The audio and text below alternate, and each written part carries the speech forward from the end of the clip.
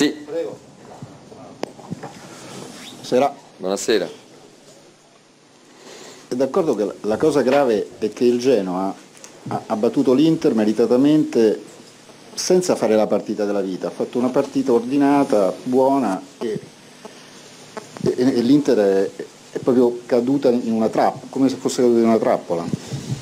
È caduta in una trappola, no? Non mi sembra una trappola. L'Inter eh, ha tenuto la partita in equilibrio, poi siccome mm, stiamo attraversando un periodo, un periodo difficile, queste difficoltà mh, mm, avrebbero bisogno dell'aiuto dell'episodio che ti gira a favore, mentre ti girano un po' contro, anche in questo momento qui ancora di più e, e di conseguenza la reazione dovrebbe essere ancora più imponente, ancora più importante che per certi versi secondo me c'è anche un po' stata nel secondo tempo, però poi quando perdi 2-0 valla a raccontare, valla a argomentare, diventa ancora più difficile.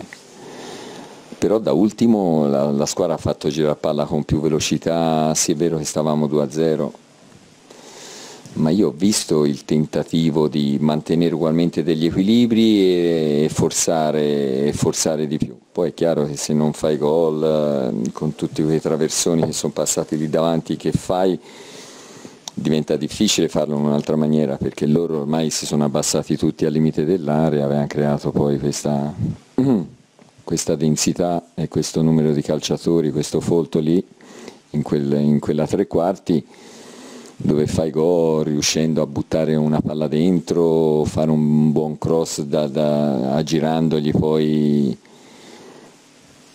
aggirandogli dall'esterno, però non ci siamo riusciti e,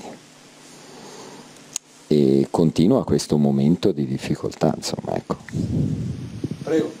Mister, eh, rispetto alla prima parte della stagione, ehm, a me ha colpito il calo di rendimento del, del comparto centrocampisti, nel senso eh, Borca, Valero, Vestino, Gagliardini che una volta hanno comunque l'ossatura mh, della, della, sua squadra.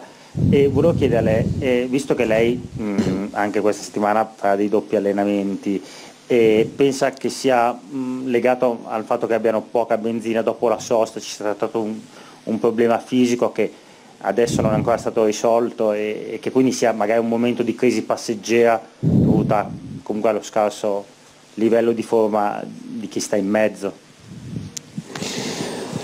Allora, non è un, punto, un problema da un punto di vista fisico, assolutamente no ma anche se lo fosse, questo è assolutamente no con eh, i dati di fatto, con, uh, con le misurazioni della tecnologia che si ha ora a disposizione, ma anche se fosse così, è, è sbagliato andarla a, a, trattare in quella direzione lì per questo modo qui, perché se a un calciatore gli dici che non è in condizione, cioè per ritrovargli la condizione fisica vuol dire che per 3-4 settimane devi perdere le partite perché non ce la fai.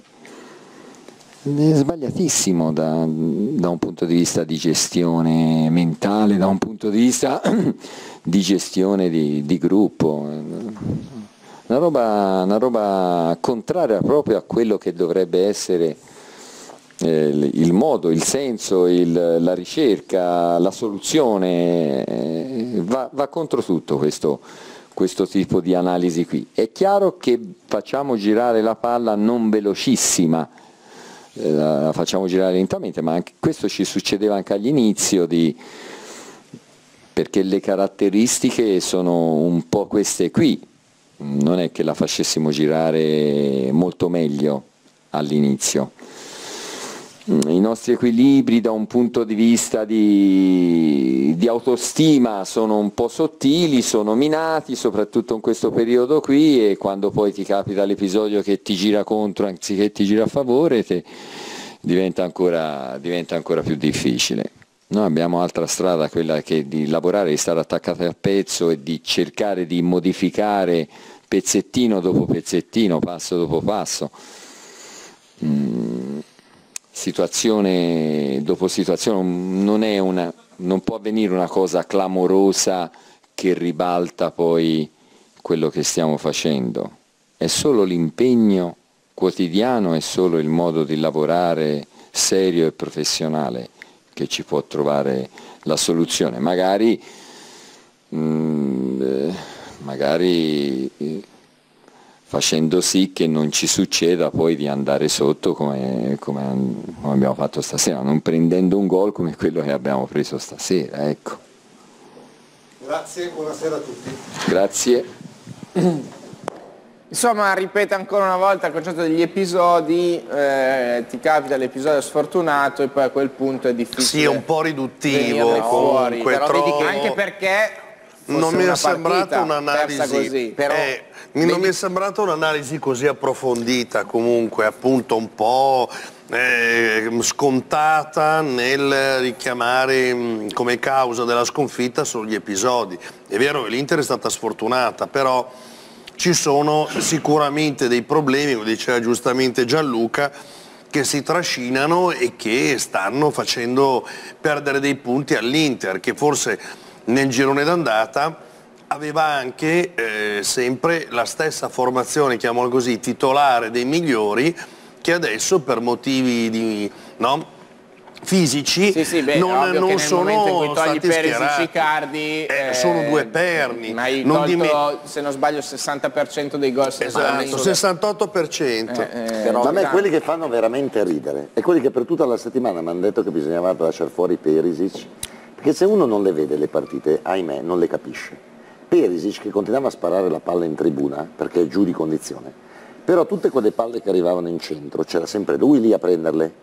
Il problema è che poi le calciava in tribuna e tutti abbiamo detto che pipa, è giù di condizione, fuori.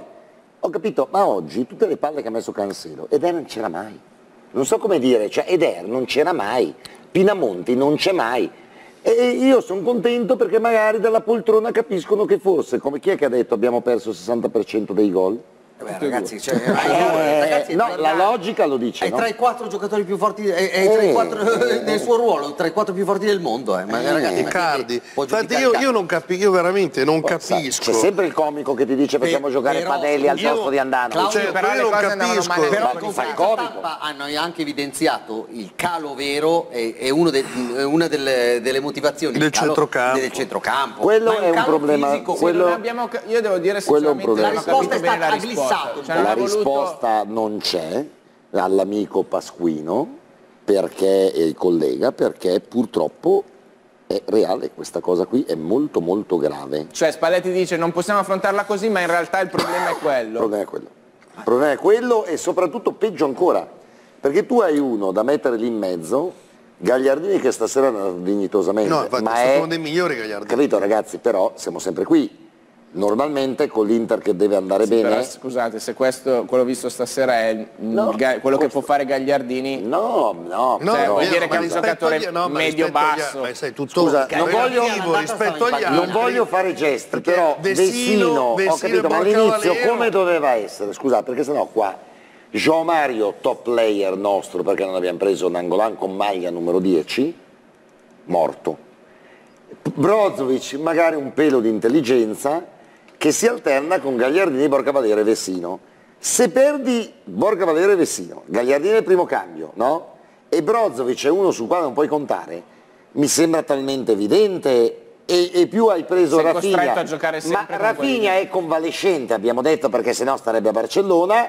Non sì. è che ci vuole un grande studio. Dall'altra parte però Gianluca, una squadra che ha solo il campionato, vedere come sono messi questi giocatori qua. Fisicamente. Eh, questo dico, no? Cioè non è che dovevi fare 300 partite. Anche perché Claudio molte volte Borca Valero perde dei palloni, perde dei palloni e fa ripartire gli altri. Io sto vedendo peggio Vessino di Borca Valero in questo periodo, eh? Sono d'accordo, sono d'accordo. Sto vedendo peggio Valero fa girare la palla. Sto vedendo Vessino peggio Vessino. Veramente non Però è Vessino, che cosa abbiamo detto per partite. tre mesi? Eh, la Madonna, chi sì. è che schi? Ti ricordi? Sì. Ho capito, ma siccome non sei torno al solito cosa se sei un top player, un campione, duri nove mesi. Se sei un buon giocatore, ne fai tre bene, due sì, male, però uno bene. Spalletti uno allora è preoccupante perché Spalletti dice non possiamo affrontarlo come problema fisico, perché se no dovremmo pensare di eh, lasciare 3-4 partite ancora per recuperare la...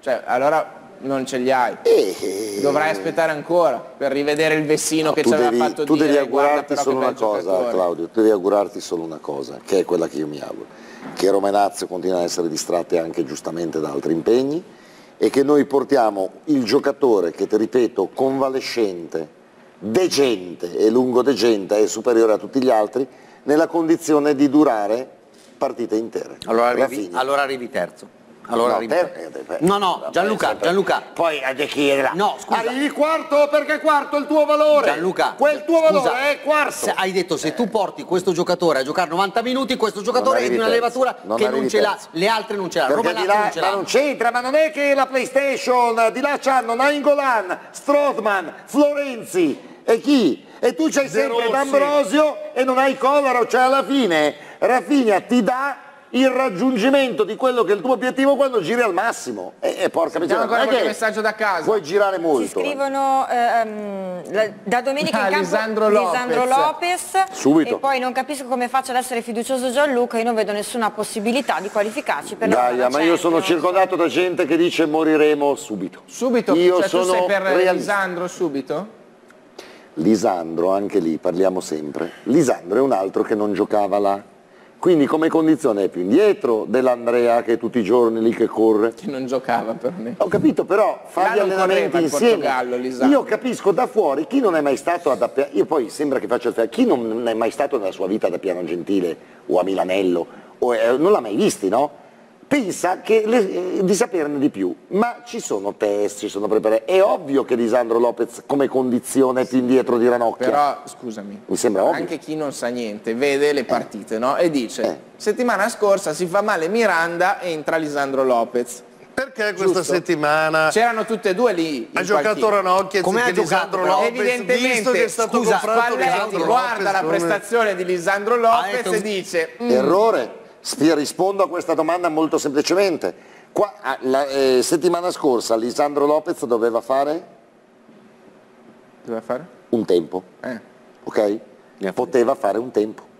E infatti è entrato Lisandro Lopez. Stasera che dovevi giocare dall'inizio, Lisandro Lopez non è in condizione per giocare 90, è in condizione per giocare probabilmente 45, esce perché poi ha giocato male, a momenti gli spaccano una gamba, ha avuto anche dei problemi sta settimana per quella gamba che si è piegata è ovvio che, stasera, che oggi giocasse Ranocchia, è ovvio perché ha i 90, Lisandro Lopez i 90 non li hanno. Eh, ma è... Quindi settimana prossima col Benevento ti dico chi gioca?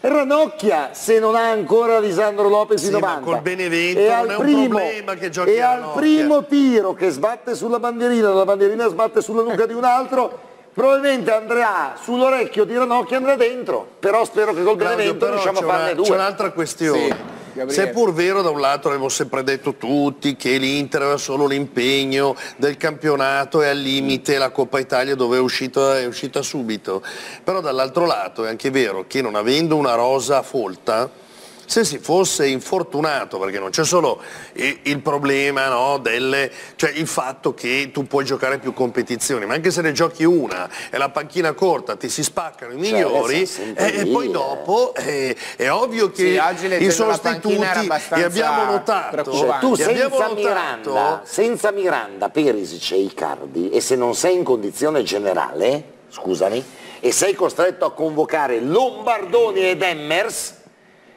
e Rafinha Povè tu perdi col Genoa. Volevo che sta in condizione. No appunto stavo dicendo abbiamo visto come su eh, una, la fascia sinistra e l'assenza la, la, di Perisic sia stata veramente di, di, grande peso e soprattutto in area di rigore impalpabile la presenza, anzi anche lì la latitanza di, sì. di Eder perché con tutti i cross stasera sono arrivati un sacco di cross, alcuni sì, neanche malvagi, soprattutto di Cancelo, sì. non c'era mai nessuno. Dobbiamo fermarci più un attimo per i Cenni vedo dalla regia, salutiamo ma sicuramente I got no rules, I count them.